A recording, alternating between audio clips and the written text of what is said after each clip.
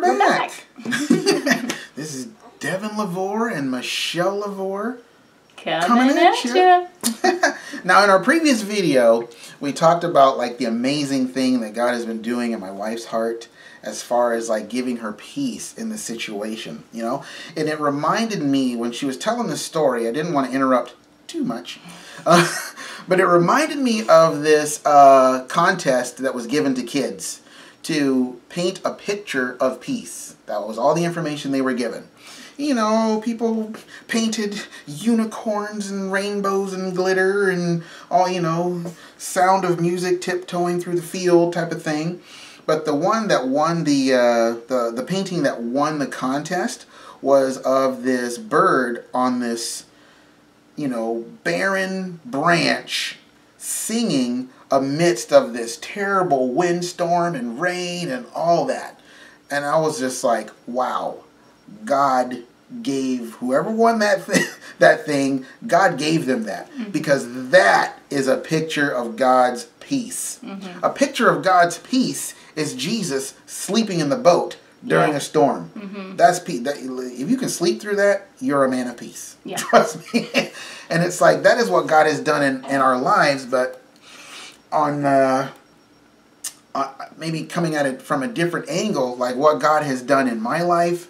I mean, literally, like I think for me, this started like during that whole time for the training wheels to come off thing. I just didn't understand exactly what had happened, the fullness of what had happened.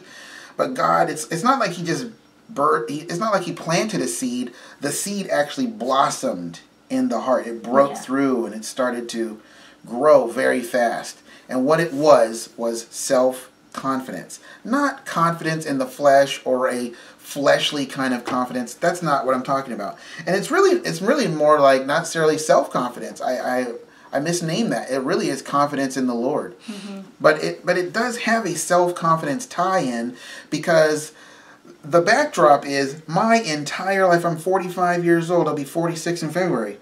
45 years old. I do not remember a time in my life where I have not depended on other people or depend meaning depended on them for affirmation and am I doing this right? And am I okay? And I'm friends who might watch this from the past will be like yeah that's true. I I- you know?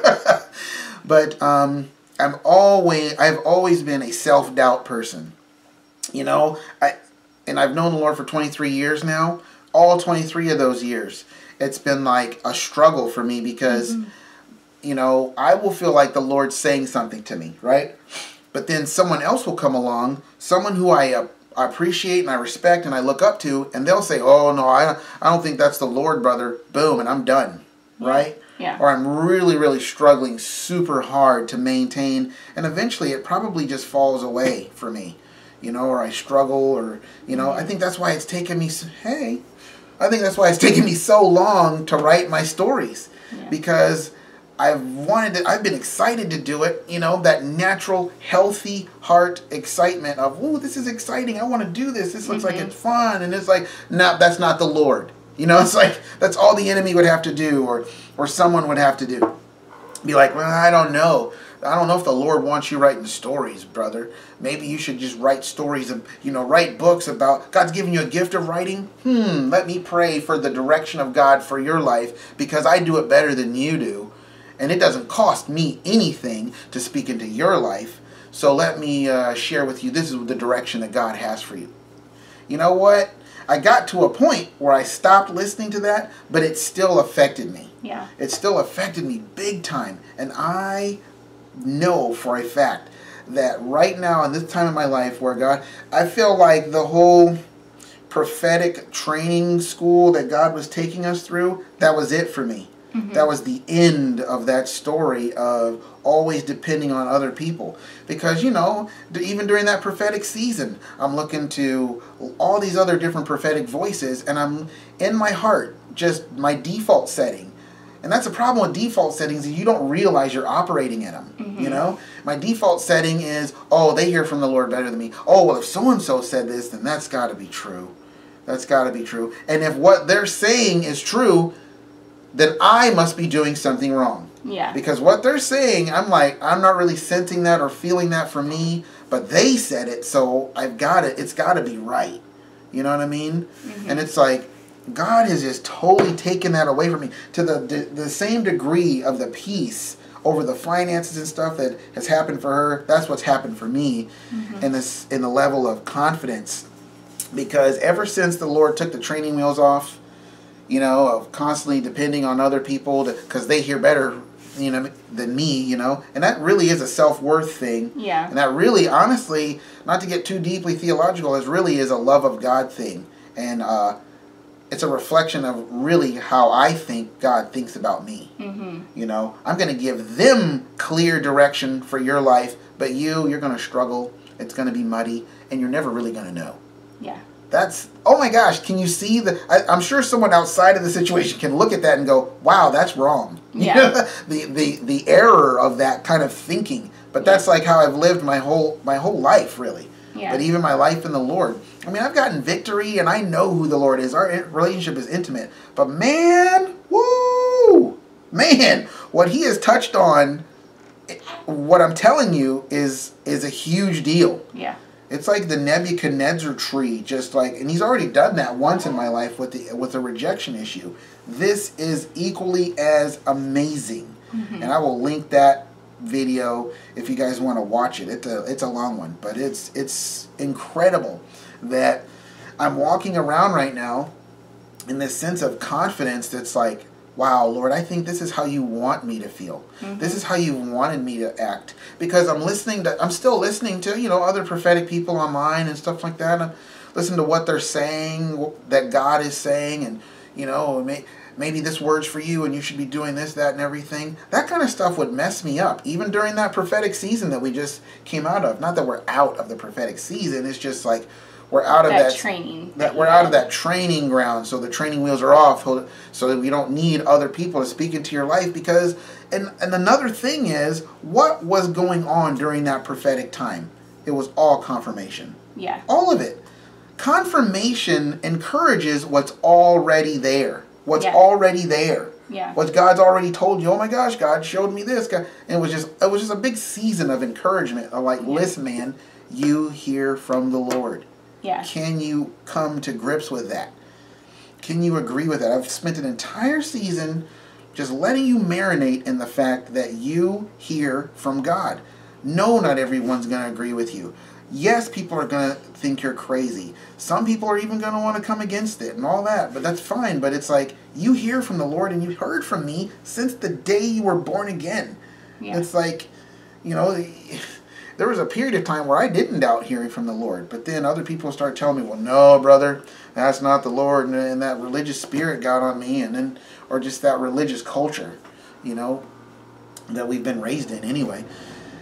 And I don't know. It's just been it's just been really profound to the point where I like I don't even know what to do with myself. You know what I mean? I'm just like, wow, this is a new thing you're doing, and I am gonna have to learn how to walk in this. But you know what? When God has done new things in the past, I've always been afraid to mm-hmm. walk in it. I've always tiptoed through it. This, no way.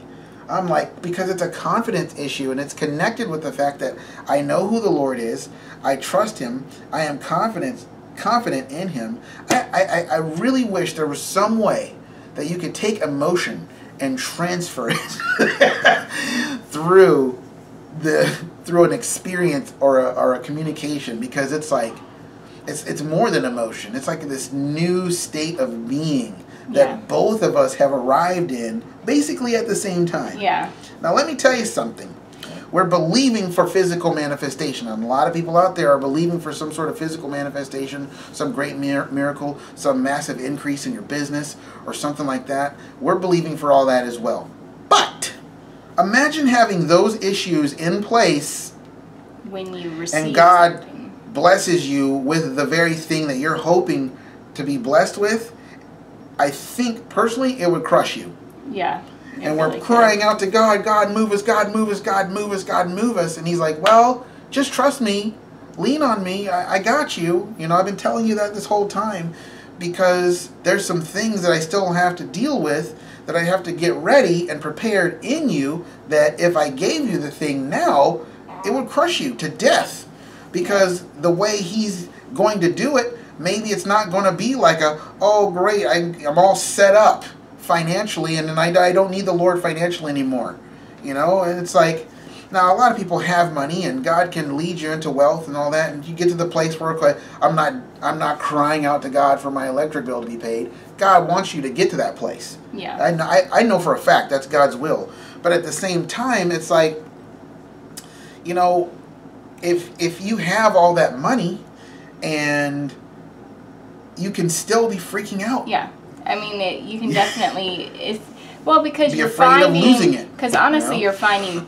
It's like at that point you're really finding your security in your money, Mm-hmm. you know, and so there can still be just a tremendous amount of fear of what happens if that disappears, what happens if that leaves, and so like that's why I feel like it's such a big breakthrough for me because I know right now that it's like it doesn't matter if God gives us millions of dollars or ten dollars. It's like I know where my security is. My security is in Jesus and God, and not in is the provider? Who who- is the and and not this like okay we we don't have this we and this and you know and I think because I've I've been there. Like I know like not that I've had millions of dollars or anything but I've had more than enough. Oh that's coming. And and you know before I got married it was just me and like the money that I had was making. It was like okay I have more than enough for myself. But even there it was just there was always fear. There was just so much fear. And it's like I just praise the Lord that and you had like a that. really decent savings before you met me. Before you got married and had kids and like okie dokie.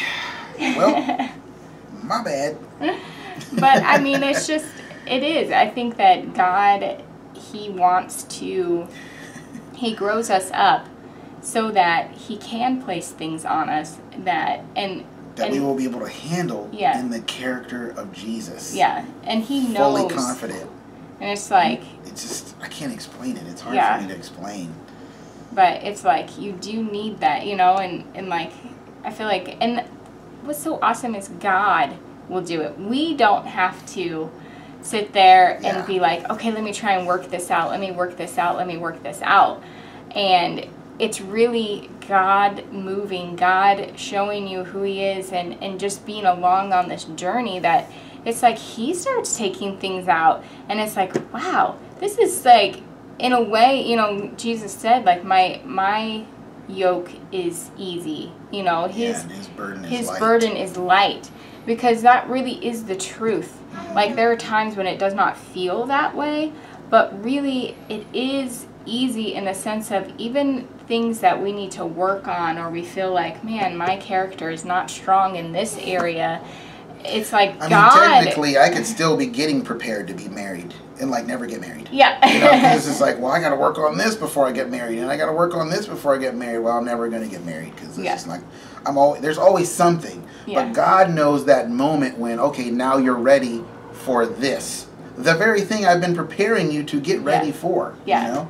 and like yeah so it's like trusting god that he's he is going to get you prepared and that it's not going to be this like devin said where it's like well it's never going to happen then because i've got a laundry list of things that's going to need to change but that's you focusing on what you think you need to change god knows exactly what you're going to need and where your heart needs to be in order for him to fulfill the promise that he has and but what I was saying too is what's really awesome is that when we allow God just to do what he wants to do in our hearts, it just comes out. It's it like when he is allowed to remove things, it's it really is an easy thing. You know, You know why it's a difficult thing? I think personally is because we're actually holding on Mm-hmm. to the thing that we want him to take. yeah. I know that's a weird thing, but it's like no, no, oh, I don't know how it, how it works, but it's like I just think that's what makes it difficult. We're actually holding on to the thing that he's that that he's trying to take, and that we actually want him to take. Yeah. You know? Or it's like you can just be really striving in yourself to change yourself. You know, it's like, oh, well, I, I have fear. Well, let me go look up all these books about fear and Yes. I'll read through them. Let me get. Ooh, and then, Joseph Prince came out with a book. I know I'm gonna get delivered if, Yeah. with his book. So, you know? but it's like when we allow God to do the delivering, I think there isn't condemnation. right. There, there is just so much freedom in allowing self-effort. Yeah, there's not the self effort. and then which leads basically to failure and Yeah. disappointment. Because I, I can tell you guys, I mean, really, like even last month at some point, we were we were struggling with the money, and I literally like told God, I was just like, "Well, Lord, if this issue has to be dealt with before all this is gonna happen, then we're gonna be here forever." Because I really was just like, I don't see personally how this is going to change, Right. and Especially when he's not letting me continue with the writing yet. yeah, It's like you're not no he's God has spoken very clearly to me that I am not going to do the writing. It's like yes, it's time to go back to farming like I did in that video, but it's like not until you get to the land where I've where I've uh, allotted for you to start the farming. And I'm like, "Well, what what in the world is going on? Why are we here? Like what are you doing?"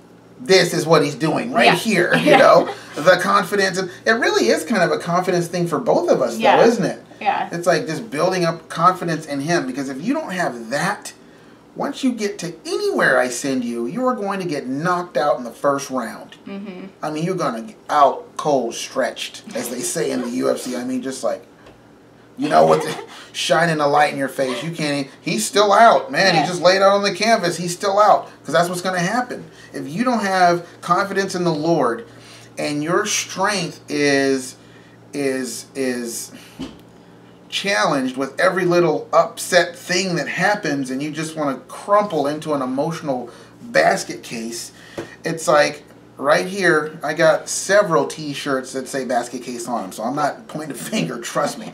But it's like if that's what's going to happen then man i gotta build you up. I, I yes i want you to have that thing you know?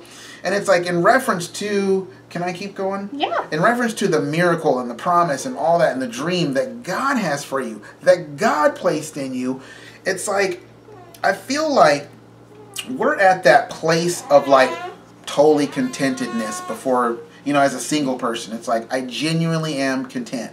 If I never get married, okay, no big deal. I'm, I'm, I'm pretty cool. I know that you have a spouse out there for me, but I'm totally content. Like if that's that's what's gonna happen, I feel like we're we're at that place mm-hmm. right now. And generally, you get married or you meet the person right after that. Generally, now for me in my story, I was never content. I never experienced that thing. I was just like, I was I, I, I experienced death in my ex. I was just like, this is never gonna happen. Yeah. I just gave up. And God's like, okay, are you done? You done? You done moping after these two days? Because I got a vision and a dream that I'm trying to get to you. See, and that, even in that, just a sidestep, which I never do, but but even in that, I had totally given up, but God didn't. See, Yeah. you you may think, oh, I've given up, therefore I've disqualified myself for the promise. Not necessarily, because God's going to come to you and say, hey, I'm still in this. I'm still trying to get this to you. I'm still trying to help you. But in the process, I'm building up your character. I know you think that's the boring stuff and the unnecessary stuff. And just, man, I don't need another prophetic word. Where's my thing? It's like, I know that's what you're thinking. But the truth of the matter is, you need to have the heart change Yeah. before you can receive the promise. Before you can. That's why. Man, that is why the nation of Israel coming out of Egypt didn't go into the promised land because they didn't have the heart change. Yeah.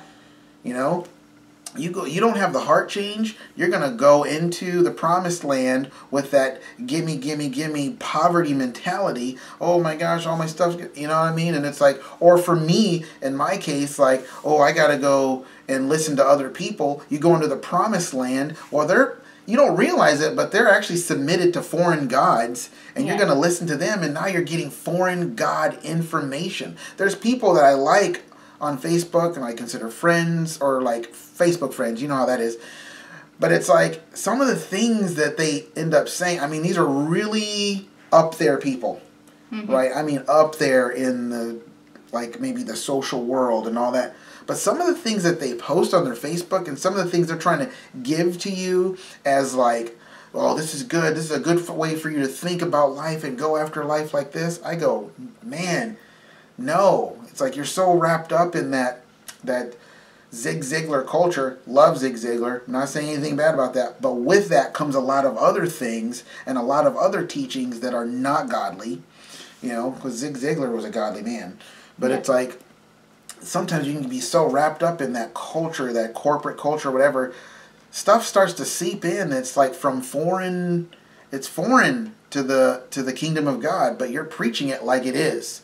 And I just I go, oh, but see, if God has not done in my heart what He's just done and solidified it, you know, really for like what, a week or so now mm-hmm. since the training wheels thing, since we transitioned, I would totally submit. And I'd be like, well, I, you know what?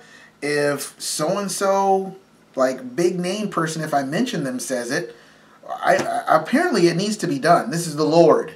That's what you yeah. end up saying. It's like, oh, this is the Lord. I have to do this. Well, and I think it's and like God might be saying in your heart, don't do that. Yeah. But because they're saying it, I would probably do it, and that's bad. Yeah, and I think though really it's it's God bringing us to a place where it's like the waves and things we're not being pushed over yes. and like it's like you're getting tossed hmm, by everything that's coming yeah i want to go walk Let's go do it. but it is. It's like God really does have to get us to a point in our life where we aren't pushed over by everything that comes at us. And, and then have an emotional meltdown because we were pushed over and we yeah. thought we were stronger, but we're not strong enough. And it's like, where are my Doritos? you know I mean? Where's my comfort food? Yeah. But I just, I, I also want to just encourage you. I know, like, we're talking about how God, like, the heart change needs to happen. And mm-hmm. let me just, like, all you need to do is just ask God, invite God to just work on your heart and he's going to do it. Like don't you don't have to come up with like okay for the next 30 days i'm going to do this and god can you know it's no just 30 allow, steps to success. Yeah it's like just allow god to unfold things yeah. in your life because that's really what he's been doing and because of the that's work the that he's been doing he's brought breakthrough in areas that honestly like like for me, we like I didn't thinking about or even, asking about. Yeah, and, and it's, it's, like, like but we're, we're pivotal yeah, pivotal to what we pivotal. needed. You know, and um, so just just be encouraged by the fact that when you will just by allowing and inviting God to just work on your heart however he needs to do it and just trusting him in the process you are going to see the breakthrough in those areas and it's not something that you have to just be like you know chiseling away at and like work yourself yeah working yeah, yeah and um, so yeah, just just know that and know too that it's like that God is he knows exactly the moment you're ready and he will give you the things that he wants to give you in that time. And um, and I just want to encourage some people out there on this on this. You have heard from God. Yeah. You have heard from God. If you've gone through the test, how do you know that you've heard from God. Man, it just keeps coming up. Yeah. I have this vision that I have not shared with anybody in regards to like how our promise is going to come to pass and it is a suddenly vision that God gave me back in September of 2002. Yeah. And it is constantly with me. If it was the enemy or the enemy seed or something like that, God would have taken that out probably before the end of 2002. Yeah. Or however long I was going to hold on to it. If it was not the Lord, He would have taken that out. And I'm telling you, it just stays with me. The, the vision of God just constantly repeat. How many times have we talked about vision? I mean, we got married in 2008. How many times just in 2009 did we think, well, what's the vision of God for our life? What's the vision? And what would always come up? Photography, dance, uh, writing. writing and writing and writing. You know I mean? And it's just like these things keep coming up. And then you think, oh, that's not the Lord. I'm just going to give that up. It's, it's probably not the Lord. And here it comes back up again. Yeah. And here it comes back up again. That is God trying to tell you, like, hey, this is what I want you to do. This is what I've called you to do.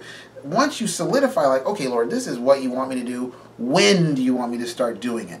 You know, and you start engaging God in the journey of. I've got a vision playlist. If you guys have questions about that, I have a vision playlist that I made like that it can answer a lot of questions about the vision from God and how to hear from God and how do you know you've heard from God and all that. I know a lot of people like the prophetic stuff, but my my channel is basically founded on teaching the kingdom of God and who God is and what he's like and how you can get to know him. Yeah. But it's like you we've got to be confident and see and I guess I'm trying to transfer what I've just experienced, what's been solidified in me. I'm trying to give that to you once again through this video of just like hey, you've heard from the Lord. You know, if you've tested it and you're you know that you know that it's from the Lord, that does not mean that it's still not going to get attacked. That doesn't Yeah. mean that the enemy is not going to come to you with this overwhelming spirit of discouragement and try to get you to abort it and say, ah, no, I wasn't the Lord. That's still going to happen, but you can recognize it. And one of the things the Lord gave me today, I'm not going to go deep into it, was like, don't even engage it. Don't Yeah. even engage with that that spirit because sometimes a spirit it just wants your attention. It doesn't Yeah. matter whether it's positive or negative. It just wants your attention. It wants you to engage in the thing that it's doing so it can have influence. And God's like, don't even mess with it. Yeah. That's what the Lord told me this morning. Don't even engage with it. Don't try to battle it or fight it or spiritual warfare the thing. Just you recognize it. Okay, I'm not listening to you. Boom, spiritual warfare done. You know what I mean? It's just like, what's God doing? That's what God wants you to focus on, what He's doing. And I just want to encourage you guys that, like, I feel like there's some people out there that you're struggling with, whether you've heard from God or not. You've just got to know that you've heard from the Lord. And you know whether you've really heard from the Lord or not, or whether it's just you. You know, and God will bring you to the end of that. And He will just continue to encourage you over and over and over again. Like, yep, you've heard. Yep, you've heard. Yep, you know what I mean? And if it's not the Lord, you'll know Yeah. because there will be no peace on it, no grace on it. Because there are a lot of times you can hear from the Lord, and it is the Lord, and then you step out to do it, and then you get the resistance of the Lord, and you're going, "Wait a minute, Lord, I thought you wanted me to do this." You know, I'm getting into some of my other videos now, but it's like I thought you wanted me to do this. Like, well, well, hold on, I want you, I want us to do it. I don't want you to go do it for me. I want us to do it together. There's a whole nother video. Check out the playlist. Did you want to say anything else, baby? No. All right, well, that's it for us today. This has been a two part video, and it's still really long. so that's why we wanted to cut it up into two parts. Maybe we should have done three parts. Yeah. But anyway, just remember, guys, um, we really appreciate you considering um, giving to us. Yeah. Um, if you can't, we totally get that. We've been there a million times, this not being able to give. Um, but we appreciate everything that has been given to us so far. You guys are amazing. Thank you so much. Every amount, every amount. We don't even care. Yeah. It's just like we just praise the Lord for you and um, pray blessing on all of you as our Yes. subscribers and anyone who might watch this video. That the Lord, the deliverance of the Lord would come to your life as well, and that you would see just how good He is, that He is setting up and He's taking the steps that need to be taken for our good. Yes. You know, all things work together for our good. So, That's all we have. yep. All right. Well, thank you guys, and we will see you later. Bye.